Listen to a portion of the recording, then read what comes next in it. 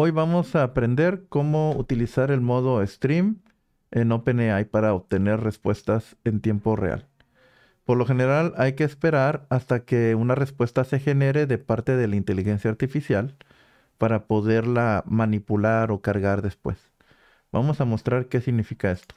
Si recordamos en uno de los videos anteriores, en el primero de hecho, vamos a ver este ejemplo que sería nuestro hola mundo de inteligencia artificial. Básicamente nos conectamos a la inteligencia artificial a través de la librería OpenAI. Hacemos una solicitud a, esta, a este sistema. Eh, en este caso, System le va a decir a la inteligencia artificial que es una asistente poética. Y el prompt o nuestra solicitud de parte del usuario se pone en el mensaje que sigue. Y tenemos que esperar a que se genere una respuesta antes de ver algo nosotros podemos utilizar el modo stream para generar una salida o una respuesta parcial e irla imprimiendo o manipulando conforme se va generando. Bueno, hay una forma de hacer que no tengamos que esperar tanto tiempo. Si nosotros vamos a nuestro escribo original, pues de los imports tenemos una variable llamada completion, que es donde va a parar la respuesta generada de la inteligencia artificial. Y hasta en la parte de abajo es cuando ya una vez que esté completada la respuesta, vamos a poder imprimirla en la pantalla. Nosotros aquí en el método create vamos a ver que tenemos un parámetro llamado stream que por defecto es falso. Entonces vamos a habilitarlo. Vamos a... Es, todo esto es un parámetro o un argumento mejor dicho. Aquí abajo vamos a poner stream igual a verdadero y lo que va a hacer este argumento va a ser habilitar el modo stream. Ahora, si tú haces esto, eh, el objeto ya no va a funcionar como funcionaba originalmente.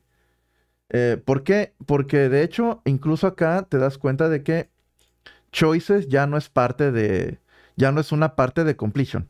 Como quien dice, cambiar esto va a hacer que el objeto completion sea uno diferente. Entonces, si yo trato de correr este programa de nuevo, voy a tener un error porque me va a decir, ¿sabes qué? Hay un error de atributos. Es un objeto de tipo stream no tiene un atributo choices. Eh, si nos vamos a la documentación de OpenAI, nos vamos a dar cuenta de que cuando habilitas el modo stream, ahora vas a tener un objeto de tipo string como respuesta. Entonces, completion, para poder sacar la información de ahí, vamos a tener que hacer algo diferente para poderla imprimir. Completion se vuelve un iterable. Ese es el, ese es el primer ese es el primer detalle. Completion se vuelve un iterable, lo que quiere decir que puedes utilizarlo para en un ciclo for o en un ciclo while para extraer elementos de completion. Completion se vuelve entonces una colección de cosas. Completion vamos a utilizarlo de esta forma en un ciclo for para iterar dentro de él. Y ahora, ¿cómo vamos a imprimir completion? En esta variable llamada chunk la vamos a imprimir para ver qué es lo que nos está trayendo. Pero a final de cuentas, si tomamos el último elemento, esto es lo que nos está trayendo. La ruta es chunk. Punto, es choices. Después abremos brackets. 0, porque ese, el, el elemento 0 es el último elemento, el más reciente y imprimimos eh, delta.content. Esa es la ruta completa. Entonces, si corro yo el programa de nuevo, voy a empezar a ver salidas antes de que termine la generación de la respuesta completa. Si es la base como funciona el modo stream en OpenAI. A continuación ya puedes hacer cualquier cosa con esto. Puedes este, utilizar esto para obviamente imprimir en pantalla la respuesta antes de que termine la generación. O también puedes mandar estos datos a otro sistema. Eso es algo que veremos en un video después.